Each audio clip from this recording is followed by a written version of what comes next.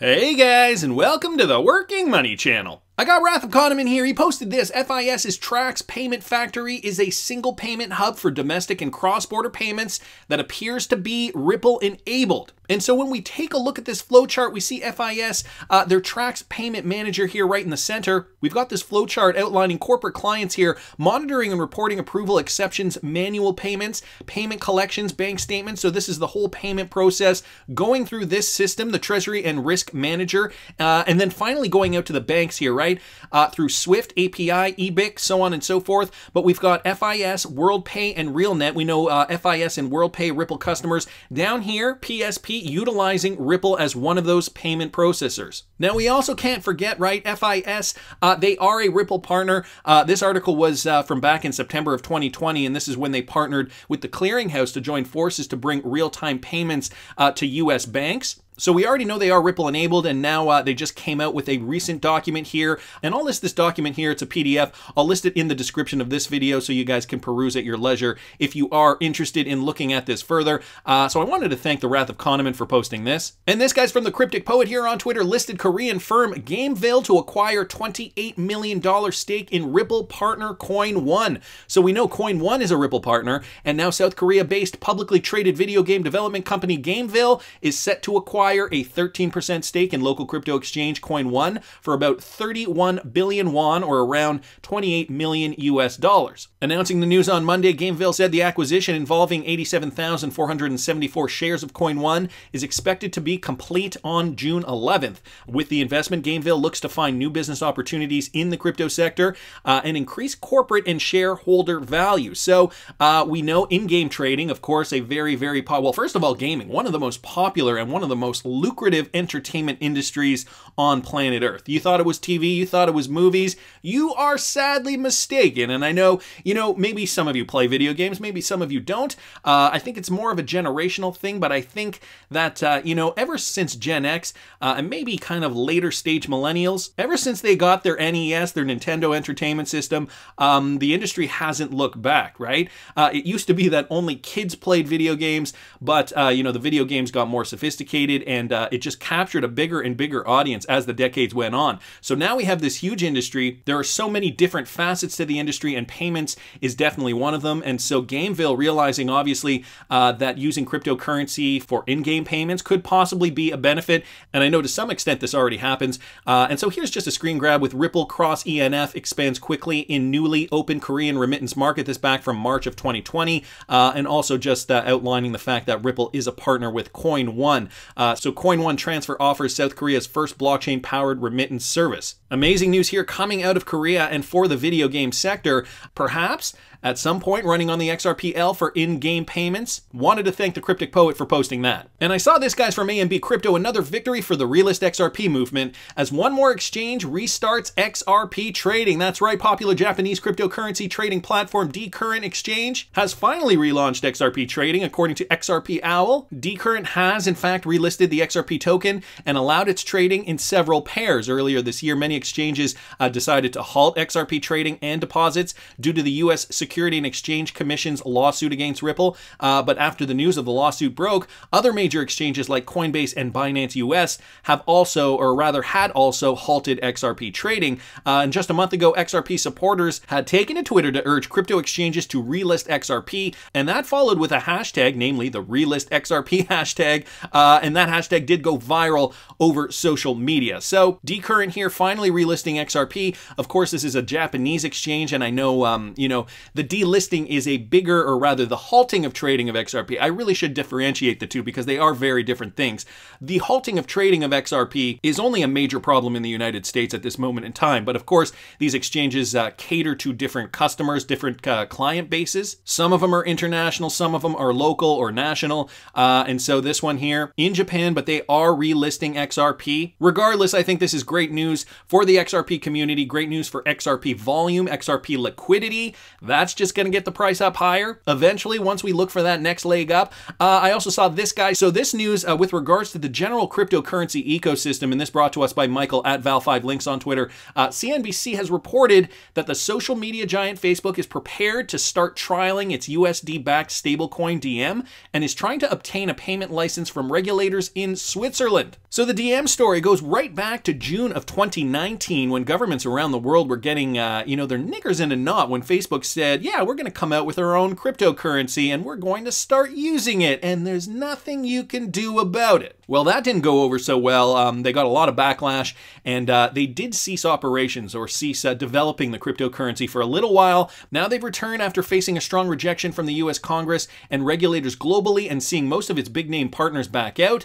Facebook has made some alterations to its crypto project Libra, uh, now known as Diem. It is tied only to the US dollar rather than a basket of fiat currencies from several leading countries. Could it have been that uh, the US government was putting pressure on Facebook saying, look, the global reserve currency is the US dollar. We do not want you to tie your currency to a basket of currencies.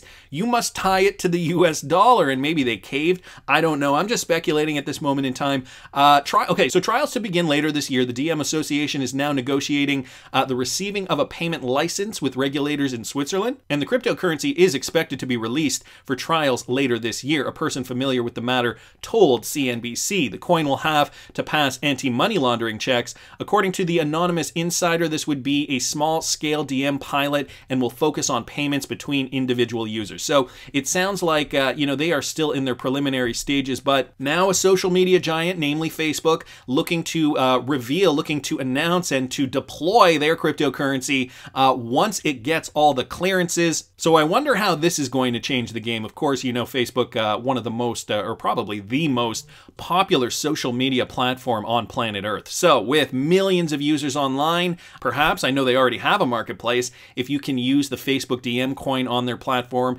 Is that going to change the game? Interesting questions that we have to ponder. Uh, guys, I also saw this from XRP Crypto Wolf. So, uh, with regards to the SEC lawsuit, the XRP community files a motion to intervene in Ripple's fight with the SEC. Uh, so, there are more developments with this. Attorney John Deaton has filed a motion to intervene in Ripple's legal battle with the U.S. Security and Exchange Commission on behalf of the similarly situated XRP hodlers.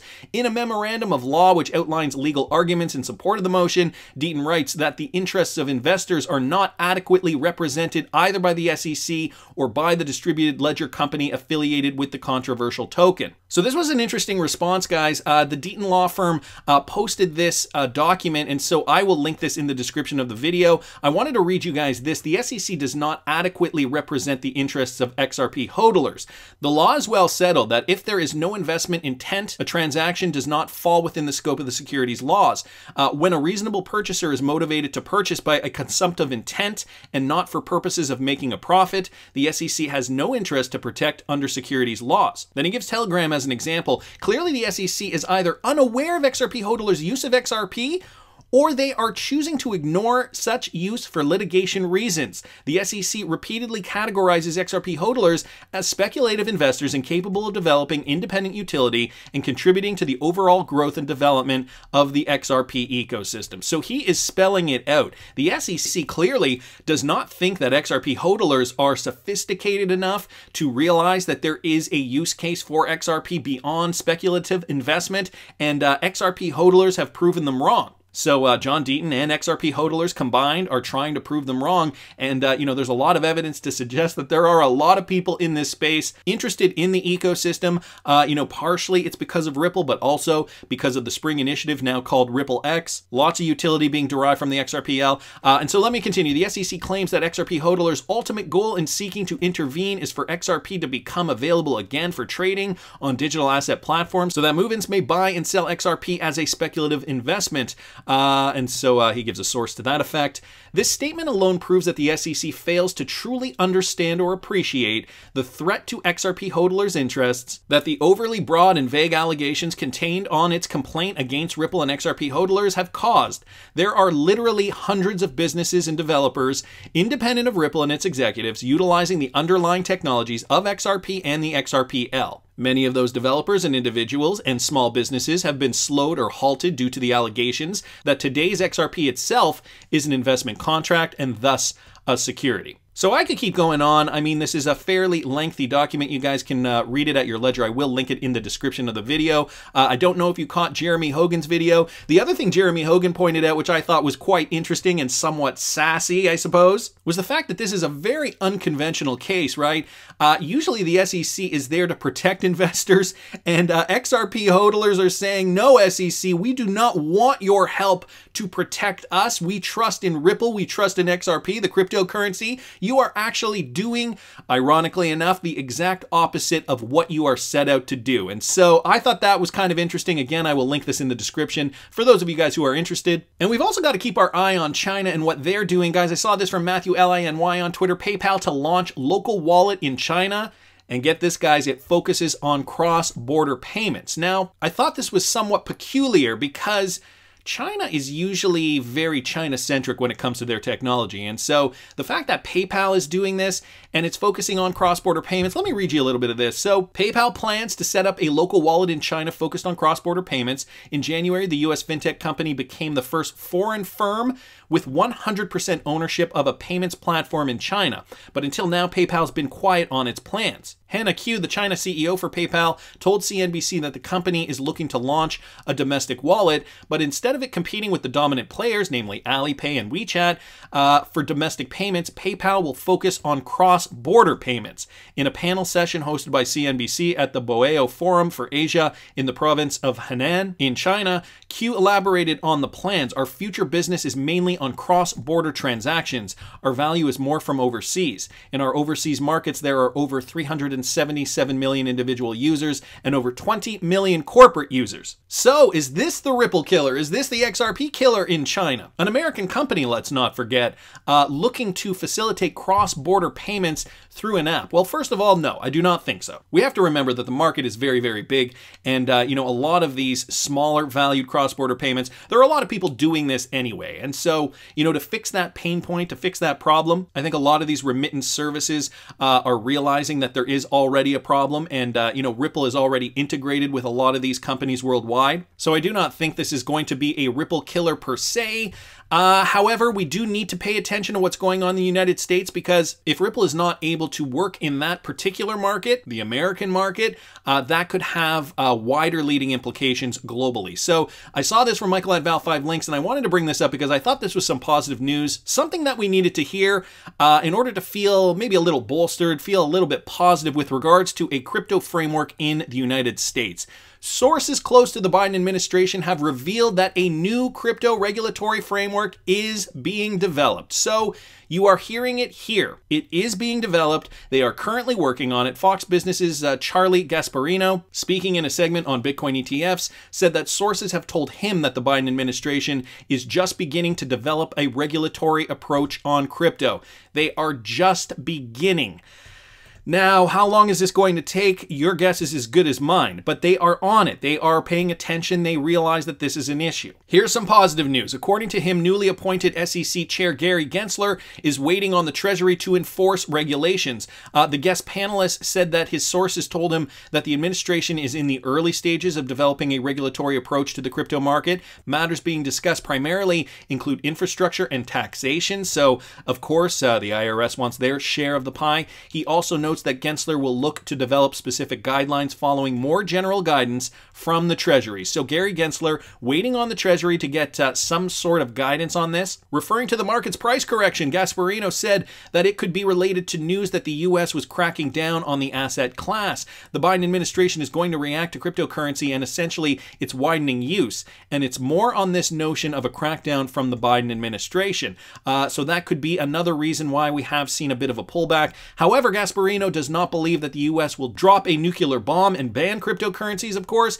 He states that too many American investors are entrenched in the market and that uh, essentially would not be a likely option. As for news on the Bitcoin ETF, there is a huge debate going on, and so it goes on into uh, the Bitcoin ETF. Let me read you guys this. The U.S.'s crypto position. Reports emerged earlier this year that the Biden administration was worried about the state of the crypto market. These concerns included the rising presence of China's digital yuan as well as investor protection. The administration has only offered sparse commentary on the matter so far. So, China, obviously part of this narrative. Uh, now we're seeing PayPal launching a local wallet in China focused on cross border payments. We are making headway in the Ripple and XRP case, at least hodlers are, uh, you know, pointing out that the SEC really isn't doing XRP hodlers any justice. This will definitely impact the case. This will definitely impact the judge's decision. That all said, though, you know, we are seeing improvements. We are seeing more exchanges relist XRP. Uh, we are seeing more developments with payment providers and uh, current Ripple partners. So, what do you guys think? Do you guys think the Biden administration will figure this out in time so that the U.S. is not left behind? Tell me down in the comments because I want to hear what you guys think. Please subscribe to the channel if you haven't already. Like the video if you like the content I'm providing. I always love hearing your comments. See you in the next one, guys.